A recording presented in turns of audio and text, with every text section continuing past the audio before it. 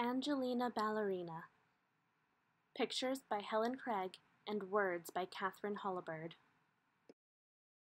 More than anything else in the world, Angelina loved to dance. She danced all the time and she danced everywhere.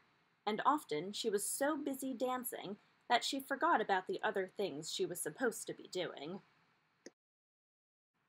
Angelina's mother was always calling her, Angelina, it's time to straighten up your room now. Or please get ready for school now, Angelina. But Angelina never wanted to go to school. She never wanted to do anything but dance. One night, Angelina even danced in her dreams, and when she woke up in the morning, she knew that she was going to be a real ballerina someday. When Mrs. Mouseling called Angelina for breakfast, Angelina was standing on her bed doing curtsies. When it was time for school, Angelina was trying on her mother's hats and making sad and funny faces at herself in the mirror. You're going to be late again, Angelina, cried Mrs. Mouseling. But Angelina did not care. She skipped over rocks and practiced high leaps over the flower beds until she landed right in old Mrs. Hodgepodge's pansies and got a terrible scolding. At playtime, she twirled and spun across the playground so fast that none of the other children in her class could catch up with her, and they were all very cross.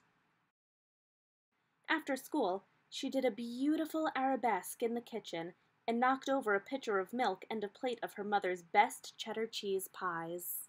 Oh, Angelina, your dancing is nothing but a nuisance, exclaimed her mother. She sent Angelina straight upstairs to her room and went to have a talk with Mr. Mouseling. Mrs. Mouseling shook her head and said, I just don't know what to do about Angelina. Mr. Mouseling thought a while, and then he said, I think I may have an idea.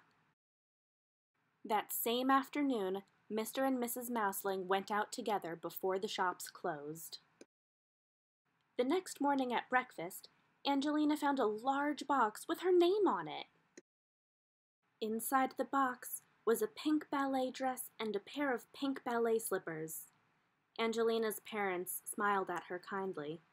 We think you are ready to take ballet lessons, they said. Angelina was so excited that she jumped straight up in the air and landed with one foot in her mother's sewing basket.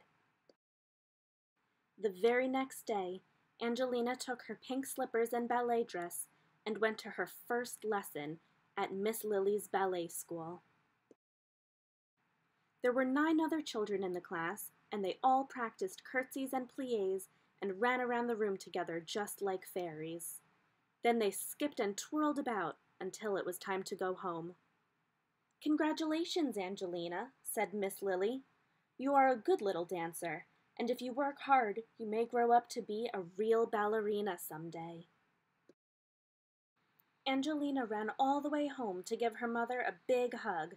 I'm the happiest girl in the world today, she said. From that day on, Angelina came downstairs when her mother called her she straightened up her room and she went to school on time.